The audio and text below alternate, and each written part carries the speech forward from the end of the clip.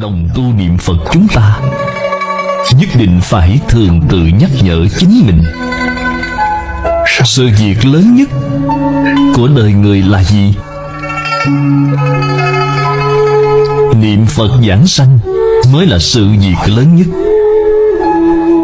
Phải nên biết, Đời này Có thể gặp được Phật Pháp, Có thể có được thân người, Có thể tin vào Pháp môn tịnh độ.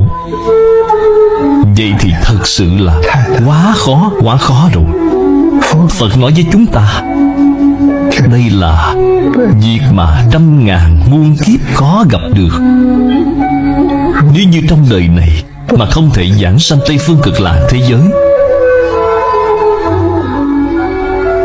Thì lại tiếp tục Tôi lăn trong lục đạo luân hồi.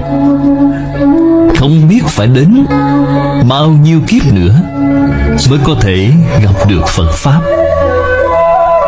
Hiện nay, Tai nạn nhiều đến như vậy.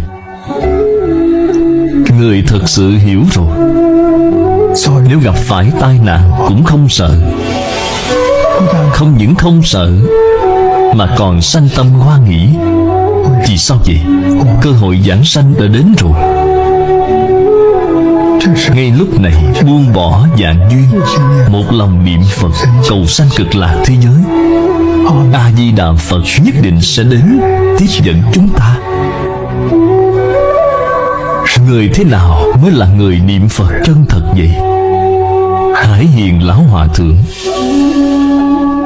Đã làm ra Tấm gương cho chúng ta xem.